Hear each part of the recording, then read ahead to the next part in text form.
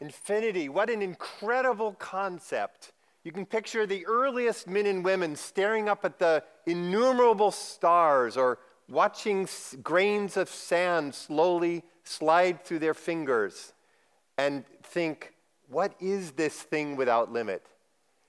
I want to take you on a brief little stroll through the history of the infinite. Let's start with Zeno of Elea, the philosopher who gets credit for first introducing the concept of the infinite in the West. Actually, that's not quite right, because Anaximander had introduced the concept a few years earlier of the boundless, apeiron, the thing that's without limits, a scary kind of notion that the Greeks really disliked.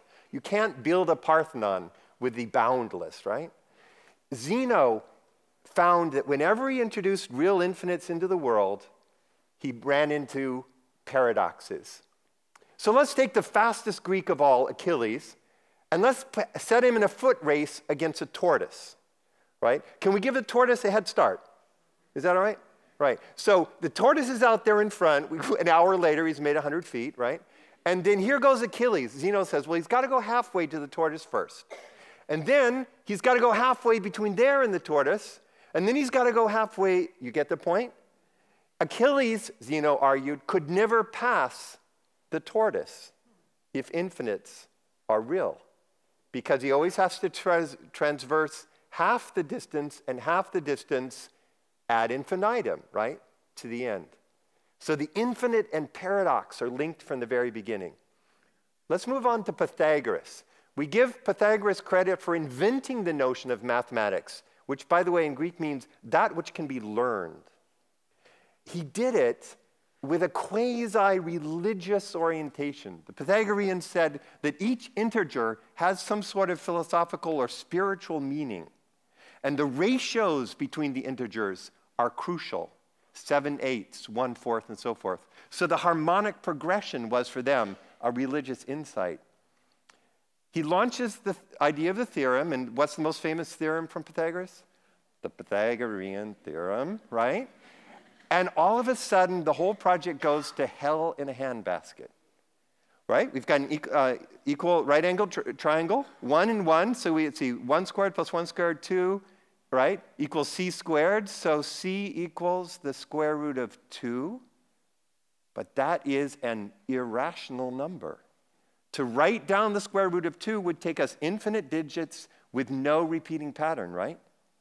right in the middle of the religion of the infinite, breaks out the impossible, irrationality, the religion of rationality shot to hell right at the outset of the story. Let's step over to India for a moment and see how things look different over there. We go to the great founder of the Jain religion, you know, Ahimsa Mahavira. The Jains had introduced a notion that hadn't been used before the difference between that which goes on without ending and the truly limitless, the truly endless. They also began to distinguish orders of infinite. So there's infinite in length, infinite in area, infinite in volume, and infinite perpetually. So amazing comprehension in India some 2,400 years ago. All right, let's step back to the Greeks and come to Aristotle, the father of some two dozen sciences, that crucial thinker.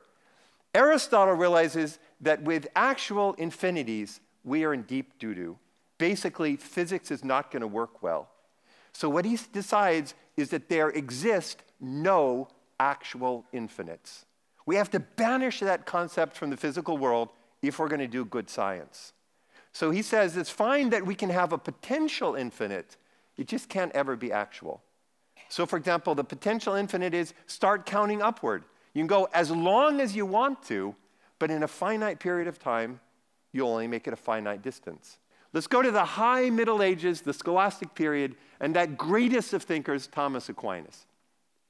Thomas Aquinas says, as a theologian, I'm interested in a different question. Y'all are interested in quantity. I'm interested in a quality of existence. What mode of existence would God have the divine. God would be qualitatively infinite, which means God would be ens perfectissimum, the most perfect being. It's a mode of existing, it's a way of existing that sets God apart from anything else, not quantity. So he bifurcates between the mathematical infinite and a religious or philosophical infinite. Moving on to the 15th century, we find the Bishop of, of Cologne, Nicholas of Cusa. And here's a theologian who decides he's going to go with the infinite all the way, no restraint. So the infinite, what is that? It's that thing which has no limits. Therefore, everything must be included within the infinite. Mathematics love Nicholas of Cusa because he used mathematical examples to describe the God world relation. So God is the circle whose center is everywhere and whose circumference is therefore nowhere. And finally, let me close with that great heretic, the one that the modern thought loved to hate, Baruch de Spinoza, a Jewish, fascinating Jewish philosopher kicked out of the synagogue at age 14 for allegedly saying that God has a body. Spinoza decided to write his metaphysic in the guise of, ge- of geometry. If God is infinite, God is the one substance. No, there can be no other substances besides this one. The substance must have infinite attributes. And we, finite little beings, can't be separate beings, so we must be modes of the one. God, however, is not the transcendent God, the personal God who does stuff. He used the phrase Deus sive natura, God that is nature. God and nature become absolutely one for Spinoza. Half the philosophers revere him as science friendly, half the philosophers revere him as uh, theological. For him, it is um, the intellectual love of God to know nature, to know yourself as part and parcel of nature, and to behave together with nature. The infinite then focuses Spinoza from theology back into the natural world. When you're called the father of the infinite, well, except that I have repeatedly pointed out that there are more, more than one father. Yes, there are a number of events had a but most people want to know who the mother is. Well, yeah.